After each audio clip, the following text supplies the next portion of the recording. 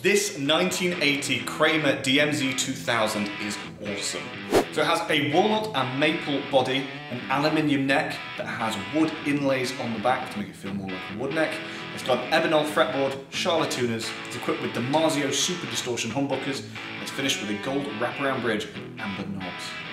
And as you can hear, this thing sounds awesome.